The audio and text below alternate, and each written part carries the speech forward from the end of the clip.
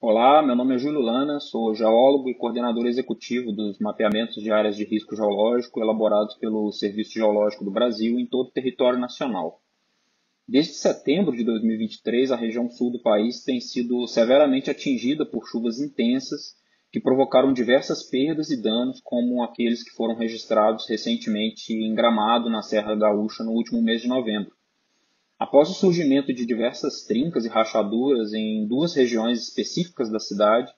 o Serviço Geológico do Brasil visitou esses locais atingidos e entendeu que o fenômeno se trata de um movimento de massa conhecido como rastejo, que é caracterizado pela lenta movimentação do solo. Essa movimentação faz com que estruturas e materiais menos flexíveis, como por exemplo o asfalto, as construções de alvenaria ou concreto armado, se deformem produzindo trincas que podem comprometer a integridade dessas construções. Em Gramado, o rastejo ele provavelmente se deve ao comportamento natural do solo da região, que quando é submetido a um encharcamento intenso pelas águas pluviais, tende a se deslocar lentamente, principalmente em áreas de relevo mais suave.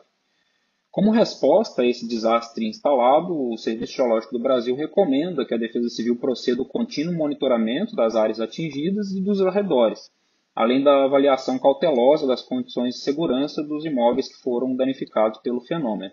Por fim, é extremamente desejável a realização de estudos mais aprofundados na região, com o intuito de verificar as condições dos solos da, redondeza é, para que a cidade cresça para regiões mais seguras e menos propensas ao desenvolvimento de fenômenos similares.